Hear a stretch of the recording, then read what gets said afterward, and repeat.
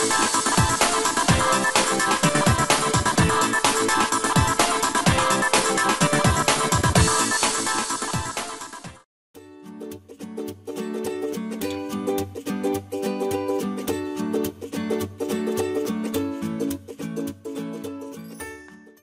chào các bạn, rất vui được gặp lại các bạn trở lại với kênh vlog của mình. Mình là Phú đây. Thì uh, trong mấy ngày hôm qua mình có uh, nhận được một số cái comment cũng như là inbox của các bạn Hỏi mình về cái phần mềm Camtasia Studio 9 ha.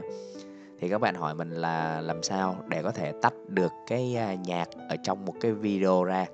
Có nghĩa là khi mà các bạn uh, tải được một cái đoạn video về đó Các bạn thấy cái bài hát trong đó hay quá mà các bạn không biết được cái bài hát đó tựa là tựa đề là cái gì và các bạn không tìm được cái bài hát đó bên ngoài bây giờ các bạn muốn lấy cái bài hát đó thì phải làm sao? Thì hôm nay mình sẽ chia sẻ cho các bạn cái cách làm này ha. Ok thì à, rất là đơn giản thôi.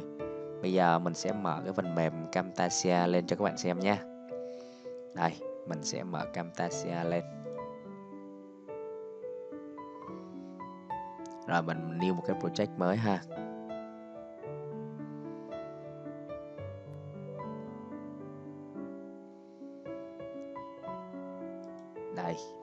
Camtasia 9 nha các bạn nha. Các bạn chờ mình chút xíu nào mình sẽ mở nó lớn lên cho các bạn xem. Rồi ok. Bây giờ mình à, sẽ import một cái file video mà mình download trên mạng về. À, đây. Mình có đây ha. Ví dụ mình à, download một cái bài à, bài hát này về đi. À, à bài hát vậy.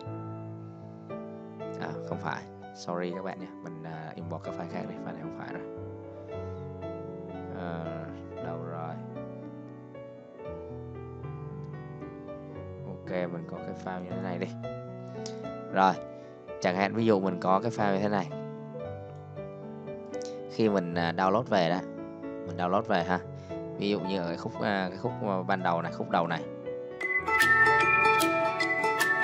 Đó, cái khúc đầu này nó có cái nhạc như thế này, mình à, rất là thích. Ví dụ như vậy, và mình muốn lấy cái nhạc này ra. Vậy thì mình sẽ làm như thế nào? Thì khi mà các bạn à, download cái file video về đó, chúng ta sẽ chỉ có một cái à, một cái layer duy nhất như thế này thôi. Ha, trên cái thanh timeline chúng ta chỉ có một cái layer duy nhất như thế này thôi. Thì để tách cái video cái video và cái audio ra đó, cái nhạc và cái hình ra, thì các bạn sẽ làm như sau nhé các bạn nhìn à, ở đây này nó có cái à, sóng cái sóng như thế này, có nghĩa là ở đây nó có tiếng ha. Thì các bạn sẽ tắt bằng cách là các bạn bấm chuột phải vào cái file này. Và các bạn chọn cho mình cái dòng là separate audio and video. Bạn bấm vào đây. Thì lập tức các bạn thấy này nó sẽ tách ra thành hai lớp như thế này. Thì cái lớp ở trên á nó chính là cái lớp hình à, lớp tiếng. Cái lớp mà có sóng á nó chính là cái lớp tiếng. Và cái lớp ở dưới là lớp hình ví dụ như bây giờ mình sẽ tắt cái con mắt tắt cái con mắt ở cái lớp dưới đi này. Thì các bạn nhìn nó sẽ không còn hình nữa. Nó không còn hình nữa ha. Mình mở cái con mắt lên nó sẽ có hình. À, nó sẽ có hình như thế này. Và chẳng hạn ví dụ như mà mình à, tắt cái con mắt ở trên cái dòng tiếng này, này thì nó sẽ không còn tiếng nữa. Đây mình play thử cho các bạn xem. Đó nó sẽ không còn tiếng nó chỉ còn hình thôi. Ok bây giờ mình sẽ lấy cái tiếng này ra bằng cách như sau nha các bạn sẽ để như thế này. Sau đó, các bạn lấy cái phần à, âm thanh mà các bạn mong muốn. Hoặc là ví dụ như, chẳng hạn ví dụ như là mình à, sẽ lấy hết cái âm thanh ở trong cái video này luôn đi. Thì mình sẽ làm như sau nhé mình sẽ chọn là share này, và mình chọn là export audio only ha. Export audio only. Đây. Sau đó mình sẽ chọn cái chỗ để mình lưu cái file âm thanh này chọn cái chỗ để lưu ha. Thì chẳng hạn như mình lưu D chẳng hạn đây mình đặt là à, à, tắt nhạc. Rồi mình ấn C. Thì lập tức nó sẽ xuất cái file à, audio ra cho mình ha. Đó, sau khi xong này mình sẽ mở cái file này ra. Đây mình sẽ mở cái file này ra ở ổ đĩa D mình có cái file là tắt nhạc đây. Đây mình sẽ mở lên.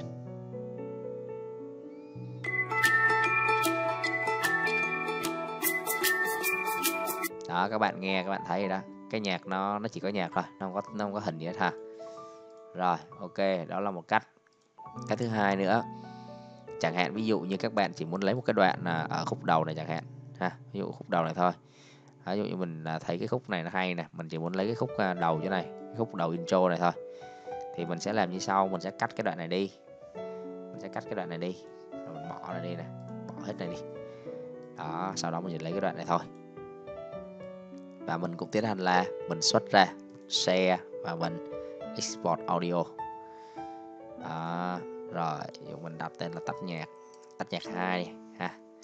Tắt nhạc hai, rồi, ok. Save lại thì sẽ xuất ra cho mình rất là nhanh. Đó thấy không? Đây tắt nhạc hai này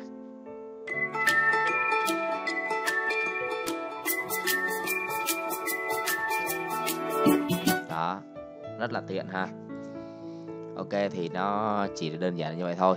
Đó là cái cách mà sẽ giúp cho các bạn có thể là tách được cái uh, nhạc ở trong một cái video mà các bạn thích các bạn lấy ra. Nó đơn giản như vậy ha.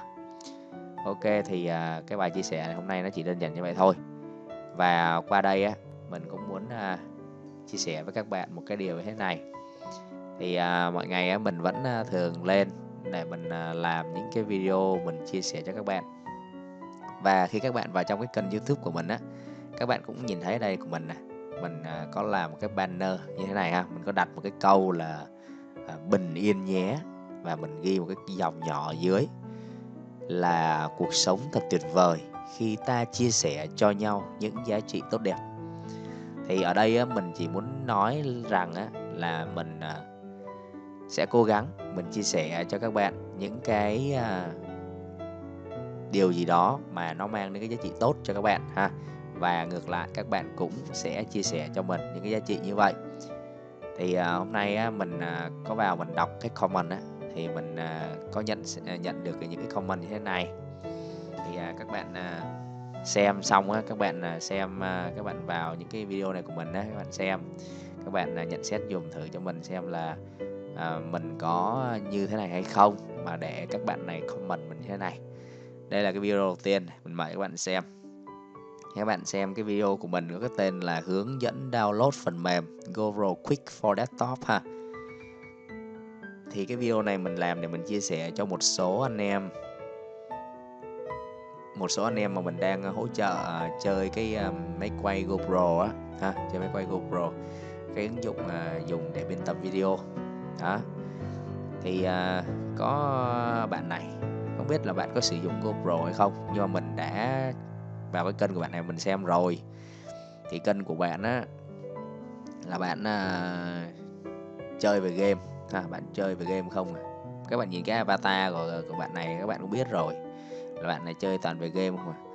Không có dính dáng gì tới cái máy quay của mình nữa đó. Nhưng mà tự nhiên vô đây thích comment vậy này. Ha. À, các bạn đọc này cái đầu tiên này comment. À, mày không để link này. À, bố tao hay bộ tao tải được à. Xong rồi ở dưới chơi thêm cái câu thế này nữa không? Chơi câu rất là sốc. À, rất là sốc ha. Nhưng mà theo như mình á, là bạn này không có dính dáng gì hết á. Bạn này không có liên quan gì đến chơi cái máy quay này hết á. Mình dám cá là như vậy. Bạn này chỉ muốn vô kiếm chuyện với mình thôi. À, các bạn có cái nickname là đạt khoách này, này bạn này chỉ muốn vô để kiếm chuyện với mình thôi. Thì à, mình nghĩ là bạn này à, không nên nói như này ha. Tại vì bạn à, không xem thì thôi. Còn bạn đã xem thì bạn lịch sự. Bạn đừng có vô đây bạn à, nói những cái điều như thế này. Mình không có đụng chạm gì đến bạn hết. Và bạn cũng không có, cái cái phần mềm này cũng không phải là dành cho bạn, cho nên là bạn cũng không nên bạn vô đây bạn comment như vậy ha. Thì mình sẽ cứ giữ lại comment ở đây, chứ mình không có xóa đi đâu ha. Mình cứ để ở đây cho mọi người và mọi người xem, để mọi người biết là mình đã làm gì trong cái video này. Mình để cho bạn này bạn phải comment như thế này. Đó thì các bạn có thể à, tham khảo cái video này của mình xem là mình có làm cái gì đến nỗi mà nặng nề để cho bạn này bạn phải comment như này không ha. Ok tiếp theo là cái video thứ hai. Đây cái video này mình nói là hướng dẫn nhập key cho Camtasia Studio 9 thì đây là một cái vấn đề mà khá là bức bối từ à, rất là lâu rồi. À, các bạn à, đang rất là gặp khó khăn về cái vấn đề này và mình đã làm khá là nhiều cái vấn à, nhiều cái video về cái vấn đề này.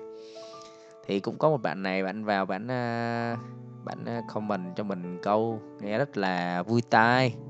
Ha đây các bạn nhìn nè. À, bạn này tên Hải Nguyễn. Bạn nói là đã mất công làm video rồi thì copy dùng cái file red đi còn bắt pause video rồi ghi lại nữa. Giọng nói thì nhỏ bật mắt volume nghe lý nhí à. thì á, ở đây á, mình cũng giải thích cho các bạn biết một cái vấn đề thế này. Thường thường á, mình làm video mình hay nói với các bạn á, những cái vấn đề mà về cái file mà để crack hoặc là những cái key á, thì mình có thể cái nếu như các bạn mà muốn sử dụng các bạn có thể là inbox riêng cho mình hoặc là các bạn gửi email cho mình ha. Mình sẽ gửi riêng cho các bạn chứ mình không thể chia sẻ lên trên đây được. Bởi vì các bạn cũng biết chính sách của YouTube là không thể chia sẻ lên trên đây đại trà được à, nó sẽ nó sẽ vi phạm cái bản quyền của YouTube. Cho nên là mình không thể chia sẻ đây được.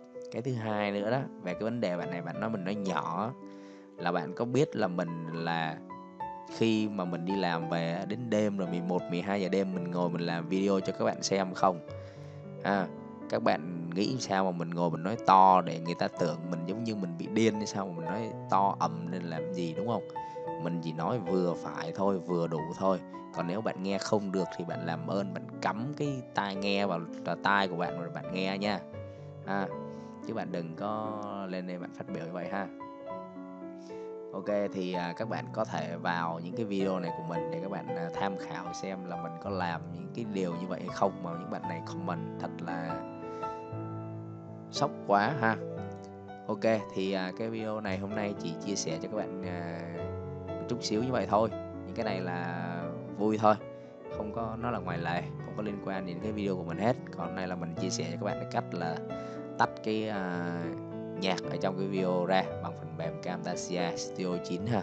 Ok thì cái video này mình xin được tạm dừng tại đây ha. Rất cảm ơn các bạn đã bỏ chút thời gian để theo dõi.